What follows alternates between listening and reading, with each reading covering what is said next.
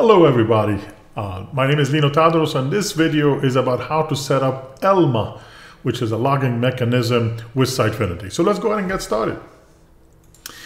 If you haven't heard about ELMAH before, uh, it stands for Error Logging Modules and Handler. That's why ELMAH Elma is known for. It's an implementation by Microsoft. Um, you can read that about it on the Microsoft website. That's the logging application block. Uh, the enterprise library itself coming from Microsoft, the logging application block, it simplifies the implementation of common logging functions. You can use logging application blocks to write information, for instance, to a variety of locations. You can write it to a file, which Sitefinity does already out of the box. You can write it to an event log. You can put it in an email message. You can put it in a database, a message queue. You can use what we call uh, WMI, which is the Windows Management Instrumentation as an event. Also, you can implement your own custom locations using application block extension points. Out of all of those, the one built into Sitefinity itself is based on a text file that gets created in your app underscore data. And it has been like this for a long, long time. Let me go ahead and show you what could possibly uh, be uh, maybe not preferred doing it this way inside of Sitefinity. All right, as you can see here, this is a Sitefinity. It's a 15.1 version of a website in Sitefinity. It could be any version really. Um, and you will notice if I go to the app underscore data folder in here, uh, you will not see the Sitefinity folder because uh, it's not included in the project by default. So I'm going to click in Visual Studio in the Solution Explorer on the button that says Show All Files. And you'll notice Sitefinity will show up. Let's open this up. And this is where you have all your configuration files, uh, temp, license, and I'm interested in the logs. If you open up the logs in here, you'll notice a few files. Uh, the trace.log, the upgrade trace, if you upgraded from one version to the other. There might be an error.log. I didn't cause an error yet. We will do that soon. But notice if I double click, for instance, the trace.log, there will be a lot of information. I can format it based on whatever I want. And there will be a lot of information in here that I can see what got logged or being traced. It doesn't have to be an error. It's just things that happened. Maybe restarted the system. Maybe you installed the new modules, stuff like that that would be traced in the system itself. This is great. But now I'm going to show you pretty much two problems that could occur because of the implementation of the error logging based on a file. The first one is what happens if the Sitefinity site is running, okay? Of course, once it writes something to the trace.log during the run, it locks the files. That means if something happens in production, I want to find out what the error was or what the trace was, you can't open that file unless you bring down the entire system. So I have to shut down IIS, for instance, to be able to open one of those. And that might not be something you want to do for a production system. The uh, other issue, of course, that can come up is that if this is load balanced, maybe you have three or four different instances of the website and they can piggyback on each other using load balancing. You're not guaranteed that the tracing and the logs for the errors, for instance, will happen on all of them. Might sometimes you have to wait five minutes, sometimes an hour. Believe it or not, you can end up waiting 12 hours or 24 hours for all the other to sync with this. It all depends, of course, on the configuration of your load balancer. So I might actually have an error on one but doesn't show up on anywhere else, and it becomes problematic to be able to debug uh, all of that type of stuff. So I'm going to go ahead and run this. Let's go ahead and click on run, and it will start the app. All right, I ran the site. Let me bring it up to this window in here, this screen, so you can see it. There is the site running, okay? I'm not gonna shut it down, I'm gonna keep it running. I'm just gonna move it to another monitor. But now while the site is running, let's say, for instance, I would like to debug it. Let's say this is in production, for instance. Whether this is an error.log or a trace.log, look what happens when I double click on it to be able to see what the problem is. It won't open it it will say that the file cannot be opened because another user have it locked, which in our case IIS is running and having a hold on this file. And it could be a problem. Can you imagine every time you get an error that you'd like to debug, whether in QA or mainly in production, you have to shut down IIS to be able to get a hold back of your log files? That will not be a good idea. Alrighty. My preference, to be honest with you, is to use a database. So you can use referential integrity on the database itself. It will not be locked. And it will give you a very nice way of being able as an administrator not everybody will have access to it to go on a web page on your website to be able to see what tracing what errors what type and see the entire stack actually of the uh, what could cause the problem so we can actually have a better idea without having to shut down the app itself. So that is ELMAH which we're going to use the same exact enterprise library that uh, is using to write to a file but we're going to use it this time to write to a SQL Server database instead. And that would be great whether you have a load balance system or you also have uh, this running an IIS in production, for instance. Both of them will be great for that. There are a couple of steps that you have to do, so bear with me here. We're going to do one by one. The first thing I wanted to show you, uh, which is good also for you to, to, to do, is to open up the web.config file, go all the way to the top, and look for something called ELMAH. Alrighty, I'm going to look for ELMAH, and you will notice there are no ELMAHs in here. And it's on purpose that I did that to find out that once you install a NuGet packages for ELMAH, for instance, there is a lot of things that are going to be added to your web.config file. But before you do anything, make sure you don't have any references or any mention of ELMAH at all in your web.config file. All right, great. Let's go ahead and start the, uh, the surgery. The first thing is I'm going to install a couple of uh, NuGet packages from Microsoft regarding the ELMAH implementation. So I'm going to right click on my project and we'll go in here to manage NuGet packages. And I am going to go browse over here. We're not going to do it from Sitefinity. We're going to do it from the NuGet.org, which is the regular one from Microsoft. And I'm going to look for something called ELMAH. And uh, we'll wait for that to load. There it is. There is 12.6 million downloads already. There is the ELMAH. So uh, be careful because with Sitefinity you have to have 1.22. So if you have a newer version, uh, of course there are the earlier version will not work with Sitefinity. I'm using Sitefinity 15.1, but as a matter of fact, for the last several versions of Sitefinity, they all require 1.22. So this is the first part that I'm going to need. The other one I'm going to need is the ELMAH SQL Server implementation because you can have ELMAH with MySQL, with Oracle, with whatever you want, but I'm going to use it with SQL Server. The good news, if I install ELMAH SQL Server, which is 1.20, which is totally okay with that, uh, it will also install the ELMAH, uh, but I want to make sure to install it myself, the ELMAH, because I want to make sure if there is a newer version, it does not get installed automatically as the tip revision, because otherwise there is a possibility it might not work with Sitefinity. So I'm going to click on ELMAH in here and we'll say install. Give it a few seconds, it should come back and say ELMAH was installed successfully. All right, we're good. All right, there it is, resolving. Okay, we'll say yes, install all these. And hopefully we'll come back once say successfully installed ELMAH 122.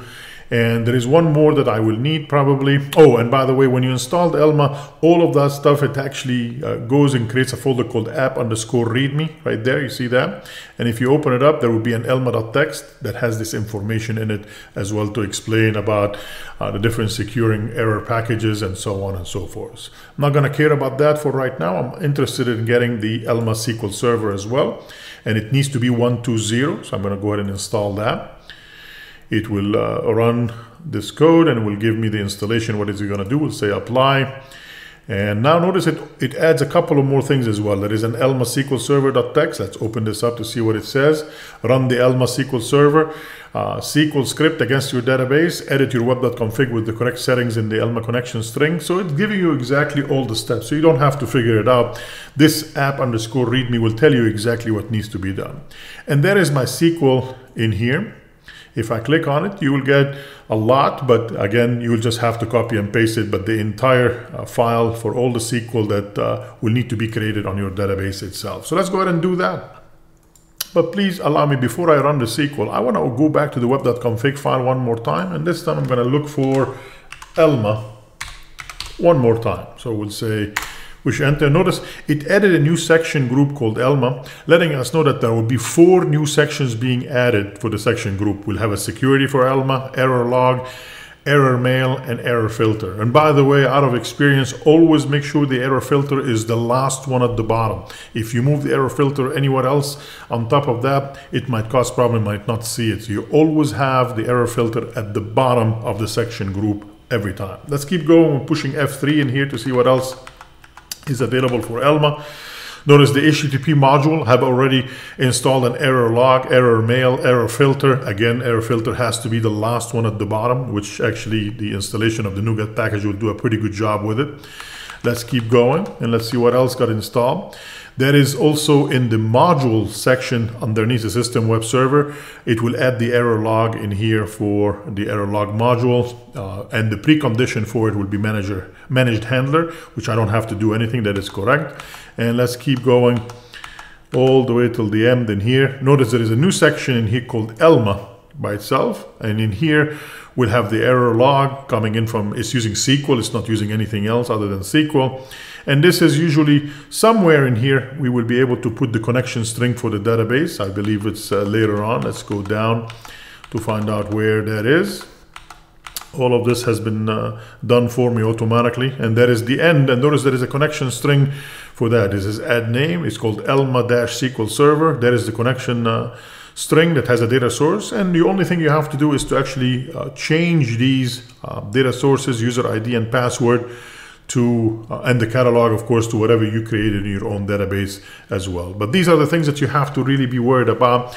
Um, make sure that they got installed correctly in your web.config file and the NuGet package will do a pretty good job with that as well. All right let's go ahead and open up Microsoft SQL Server Management Studio. I have it open in here. Let me uh, bring it in here. I'm going to go ahead and create a new database. We'll say right click new database and we can give it whatever name we want. I'm going to call it uh, SF ELMAH. Alrighty, and we push enter on that, and there is my SF ELMAH in here. I'm going to right click on this SF ELMAH. We'll say new query, and now. Uh, let me go ahead now to Visual Studio. The file got created for us automatically. I just needed to run a query on that. I'm going to move it a little bit. There it is. And let's see where we are. I don't need to bring the comments or anything like that. I'm just going to start from this declare and we'll go down all the way to the bottom.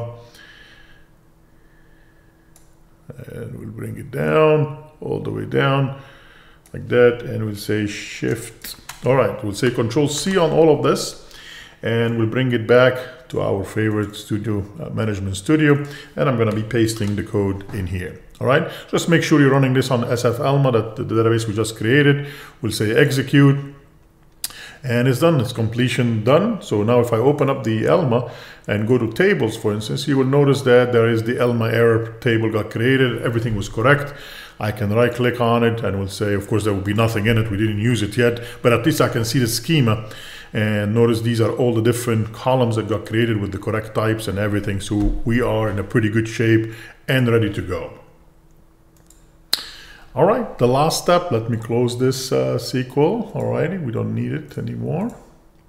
And I want to go back to the web.config file and I'd like to change my data sources and the user ID and all that. So in here, the data source, that's the name of machine. I'm using SQL Express dot for my local host backslash, and I think I call it SQL 2022. That's the name of my SQL Express instance. And instead of having a user ID and password, maybe the best thing to do is to just pass in the integrated security equal to true, so I don't have to use that. And the name of the catalog, you remember what we called it, SF ELMAH, right? That's it. Everything else stays the same. Let's go ahead and say Control S to save this file, and we are good to go. I'm going to close all the stuff down. We still have might have a couple of problems. I'm going to explain them in a second. But for right now, you will have to compile the entire system. We'll say build the Sitefinity uh, site. And once the, uh, the at the bottom it says uh, build succeeded, I would go ahead and run it. But again, so far we didn't tell Sitefinity that I'm no longer interested in, in running uh, the logs based on files. There is a way for us to go and tell it I want to use ELMAH instead of using files. For right now, I made all the changes, but Sitefinity doesn't know. So we'll do that in a second. We'll go ahead and run the site.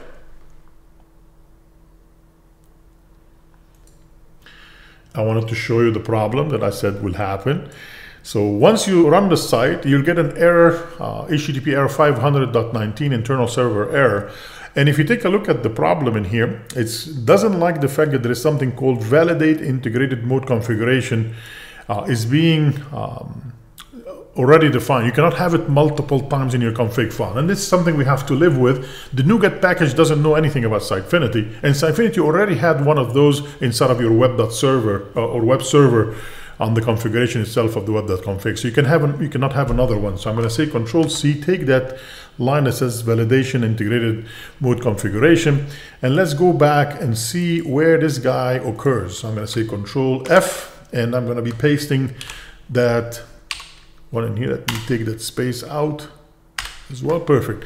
So that is the first one. See on line 93, all right? There is a system that web server that has this validation integration mode configuration. If I push F3 in here, you will notice on uh, line 230, the one that has the error logs for the modules and everything, already have this guy in it as well. So one of them has to go. You get to choose which one really, but you cannot have the validation on both. So I'm going to choose this one to make it go away. And just to save you time as well, it has to be set to false. So I'm going to go back to the 90 something.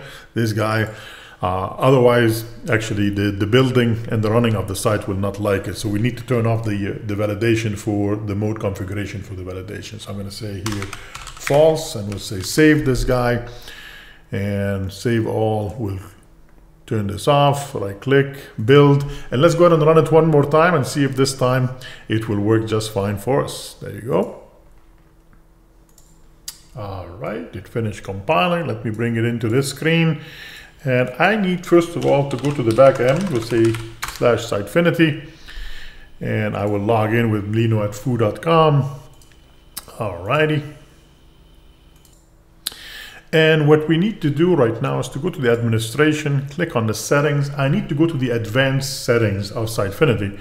And I need to find out where can I actually change the logging from being file-based to being um, database-based. So I'm going to click on advanced in here for a second. We're going to go down until we see something called uh, system there is a system, see that? And if you go down, notice there is something called UI ELMAH config. So I'm going to click on the UI ELMAH config. And right now, if this is not checked, everything is going through the file system. That's why the app underscore data, Sitefinity, logs, this is where all the files will go. Once you turn this guy on and say save the changes, now all the logging will change automatically to go from being file-based to database-based, which I personally like a lot more than file base. So once you do that, hopefully our connection string is correctly. And now whenever something happens in the system, I will get it directly in the database, not in the files whatsoever. So let's go ahead and go back to dashboard, for instance, in here. Um, and let's open up, uh, let's take this local host in here. And let's say I would like to go ahead and see exactly uh, what the database has for us. So how do you get there? The way to get there, go to your URL, whatever your website is running, and we'll say elmah.axd. That's the name of the resource that will show you the content from the database. If I push enter there, notice I will be able to see now there are no errors right now. If there were errors, I will be able to download the logs. I will actually be able to see the uh, make it available on a different website as an RSS feed or an RSS digest of what's going on. So let's go ahead and cause a problem because I like causing problems, right? So let's say, for instance, I have a, a missing page like a 404. We'll say blah, blah, blah dot ASPX, which I know does not exist on my website. So if I click on this guy, try to visit it, notice I get the server error. If I didn't have ELMAH, if I go back into Sitefinity, there would be a file called error.log that will contain the stack of what happened, why this file was not available. But now I cannot open that error.log file um, because Sitefinity is running. Okay, it's in production, for instance. But if I go back in here, let me go ahead and do it again. We'll say Control V and we'll say elmah.axd and we'll click on this guy Notice there is a, the name of my machine, by the way, is called Lino Desktop. The code is 404 is of type HTTP, which says the file blah blah ASP does not exist. I can open up the details. And it's a lot more than what I got automatically uh, from just the, the window that came up. So as an administrator, by the way, your customers, people visiting the site, cannot go to elmah.axd. You have to be an administrator. So if I actually log out from the back end and try to go to the elmah.axd, you're going to get an error saying you do not have permissions to see that. Uh, of course, we don't want people to see because sometimes you'll have connection string information. You don't want to do that. Only the administrators. But it will give you the exception of what happened. You were trying to visit blah blah.aspx, which does not exist. But it will also take a snapshot of all your server variables, everything in here with the cookies and the browser and the user agent, everything will be available for you to do that. Wouldn't that be nice, for instance, if you've written uh, a widget inside of Sitefinity and you cause a crash. Maybe you did something to, to, to do something bad in the Sitefinity site using a widget or something like that. And while the Sitefinity is running, I can go to the elmah.axd and be able to see my internal error, which is 500, and be able to see the stack and see the line of code, for instance. That would be much easier um, instead of having to open a file and have to shut down your server and so on and so forth. So it can definitely be very, very useful. All right, the last thing I want to do before I let you go is to cause a real exception. And this is something simple you can do just to, to, to try it out. Just right click on the projects and we'll say we'd like to add, say a new item. And it doesn't have to be something specific to Sitefinity, to be honest with you. We'll say web form. And let's take a, a regular web form in here. We'll call it, for instance, uh, test crash. Alrighty. We'll test the crash for ASPX. Let's go ahead and create this. And once this file gets created in my project in here, I'm going to open up the code behind for it. And we'll do something very simple. We'll say throw new and we'll say exception. There you go. Copilot is very nice to us. We'll, we'll throw an exception. So this is a test exception. This is a kaboom exception, okay? So we will do it this way. We'll say save this guy. We can close all of these, compile and run again. And we'll right click and we'll say build. So we can make sure that the test crash has taken place as well. And that will actually end up causing an internal server error 500. This is not a 404 like it could not find. And of course, you can actually have all your errors, maybe 401s, 402, 403, 500, 501, 502, all of them you can definitely have inside of that specific file uh, or the AXD for the database itself. Excellent. Let's go ahead and run it and see if we can see what happens now. All right, let's go ahead and test it. And the way to test it, you just have to go to the page, which is test crash.aspx inside of our Sitefinity application. And if we go to that page, let's see if we can get a kaboom. it's uh, compiling the page for the first time. And there you go. It says this is a kaboom exception, throw new exception, blah, blah, blah. And you get some information in here as well, of course, because I have this turned on as enabled. Of course, uh, your customers, uh, I'm the admin, customers will not get all that information. We'll just say this is a kaboom exception that occurred and that's about it. All right, now let's go back to our ELMAH. Let's say ELMAH elmah.axd again. And let's see, oh, there you go. Now this time we have an exception. There is a 500 HTTP exception happens and my own exception that this is a Kaboom exception as well. And remember, the site is still running, which is definitely a great thing.